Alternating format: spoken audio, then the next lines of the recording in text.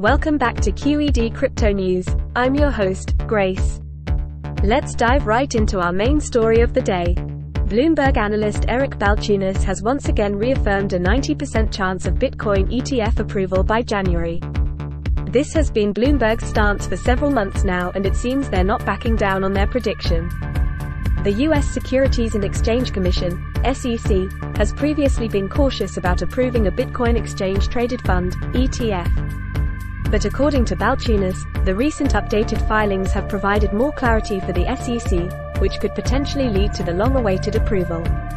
The anticipation is high as this isn't just about one ETF. In fact, there are currently 12 spot Bitcoin ETF applicants eagerly awaiting this decision. And if Bloomberg's analysts are correct, an eight day long window could open up very soon wherein the SEC could approve all these applications.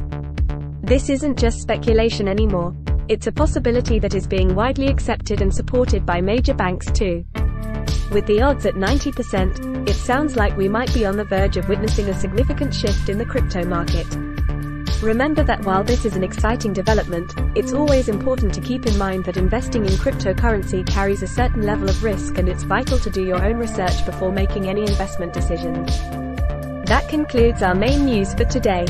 As always, stay tuned for more updates and insights into the world of cryptocurrency.